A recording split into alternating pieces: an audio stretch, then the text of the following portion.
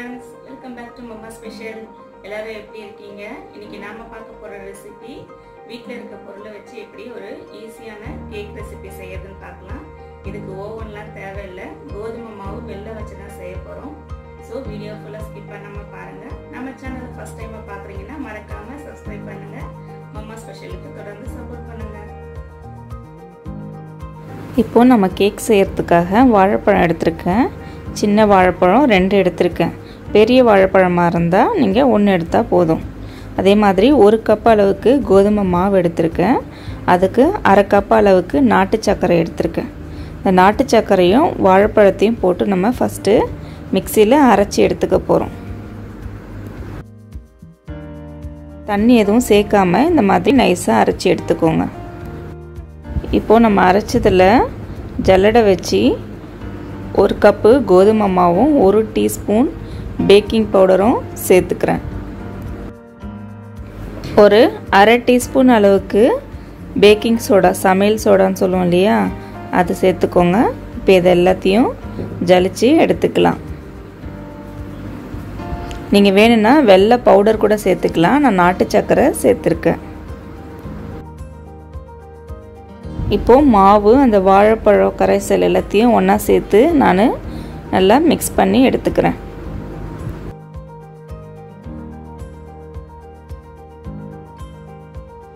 One by three cup அளவுக்கு எண்ணெய் எடுத்துக்கிறேன். இதையும் சேர்த்து மிக்ஸ் பண்ணிக்கோங்க. நீங்கள் வேணும்னா ஃபஸ்ட்டே அந்த வாழைப்பழ கரைசலில் இந்த ஆயிலையும் சேர்த்து மிக்ஸ் பண்ணிவிட்டு அப்புறம் மாவு கூட சேர்த்துக்கலாம். அதே மாதிரி டிஸ்கிரிப்ஷனில் நான் அளவு கொடுக்குறேன். உங்களுக்கு வேணால் நீங்கள் செக் பண்ணிக்கோங்க.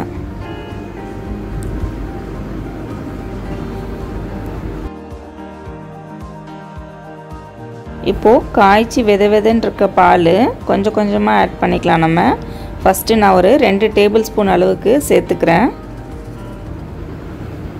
பேட்டர் திக்காக இருக்கிறதுனால இன்னும் ரெண்டு டேபிள் ஸ்பூன் சேர்த்துக்கிறேன். மொத்தம் நாலு டேபிள் ஸ்பூன் பால் சேர்த்துருக்கேன். இதை நல்லா இப்போ கலந்து விடுங்க. பேட்டர் கொஞ்சம் திக்காக இருக்கிறதுனால இன்னும் ரெண்டு டேபிள் ஸ்பூன் மில்க் ஆட் பண்ண மொத்தம் ஆறு டேபிள் ஸ்பூன் யூஸ் பண்ணியிருக்கேன் நான் மில்க்கு அதே மாதிரி ஒவ்வொரு கோதுமை மாவை பொறுத்து சில மாவு ரொம்ப பால் இழுக்காது சிலது நல்லா உறிஞ்சிக்கும். ஸோ உங்கள் மாவுக்கு ஏற்ற மாதிரி நீங்கள் பால் சேர்த்துக்கோங்க. அதே மாதிரி எல்லாத்தையும் செக் பண்ணிவிட்டு இனிப்பு பத்துதான்னு பார்த்துக்கோங்க ஏன்னா நாட்டு சர்க்கரை வெள்ளை சர்க்கரை எல்லாம் டேஸ்ட் டிஃபராக இருக்கும். அதுக்காக தான் சொல்கிறேன் பேட்டர் ரெடி பண்ணிவிட்டு பேக் பண்ணுறதுக்கு முன்னாடி ஸ்வீட்னஸ் போதுமான ஒரு வாட்டி எதுக்கும் செக் பண்ணிக்கோங்க.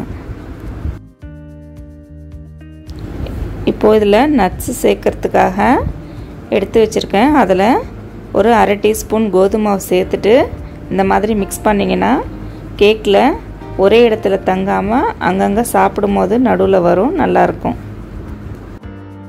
இப்போது இந்த ஸ்டீல் பவுலில் தான் நான் கேக் வைக்க போகிறேன் அதுக்காக க்ரீஸ் பண்ணிக்கிறேன். க்ரீஸ் பண்ணிவிட்டு உள்ளே ஒரு பட்டர் ஷீட் போட்டுக்கிறேன். உங்கள்கிட்ட பட்டர் ஷீட் இல்லைனா பிரச்சனை இல்லை. கொஞ்சமாக மாவு டஸ்ட் பண்ணிவிட்டு அப்புறம் பேட்டரை ஆட் பண்ணிக்கோங்க. இன்னும் சின்ன பவுலாக இருந்தால் இன்னும் பெட்டர் சேர்த்ததுக்கப்புறம் இந்த மாதிரி லைட்டாக தட்டிக்கோங்க. இப்போ மேலே கார்னிஷ்காக நட்ஸு ஆட் பண்ணுறேன் இது ஆப்ஷனல் தான். குக்கரில் நான் சால்ட் எதுவும் போடல. வெறும் ஸ்டாண்டு தான் வச்சுருக்கேன். ஒரு அஞ்சு நிமிஷம் ப்ரீ ஹீட் பண்ணி வச்சுருக்கேன். இப்போது இதுக்குள்ளே நம்மளோட கேக் பாத்திரத்தை வச்சாச்சு. அதே மாதிரி குக்கரில் கேஸ் கட்டும் விசிலும் இருக்கக்கூடாது. ப்ரீ ஹீட் பண்ணும் போதும் இதே மாதிரி தான் மூடி வைக்கணும். கேக்கு பேக் பண்ணுறதுக்கு இந்த மாதிரி மூடி வச்சு இருபத்தஞ்சி நிமிஷம் வைங்க. லோ ஃப்ளேம்லேயே வச்சு பேக் பண்ணுங்கள் ஒரு ஒருத்தர் கேஸ் ஃப்ளேமுக்கு ஏற்ற மாதிரி நான் இருபத்தஞ்சி நிமிஷம் கழித்து எடுத்தேன். நல்லா வெந்திருக்கு பாருங்கள் கேக்கு சூடாக இருக்கும் போதே எடுக்காதீங்க. கொஞ்சம் ஆற விட்டுட்டு அதுக்கப்புறம் கத்தியில் சைடில் எடுத்துட்டு அப்புறம் பிளேட்டில் டீமோல் பண்ணுங்கள் அந்த அளவுக்கு ஒட்டலை பாருங்கள் பட்டர் பேப்பர் போட்டிருக்கிறதுனால ஈஸியாக இருந்தது எடுக்கிறதுக்கு. இப்போ இதை நம்ம ஸ்லைஸ் பண்ணி எடுத்துக்கலாம். நல்லா சாஃப்டாக ஸ்பாஞ்சியாக இருக்குது பாருங்கள் கேக்கு சாப்பிட்றதுக்கு ரொம்ப டேஸ்ட்டாக இருந்தது. கண்டிப்பாக ட்ரை பண்ணுங்கள் வீடியோ பிடிச்சிருந்தா மறக்காமல் லைக் பண்ணுங்கள் எப்படி இருக்குன்னு கமெண்ட் பண்ணுங்கள்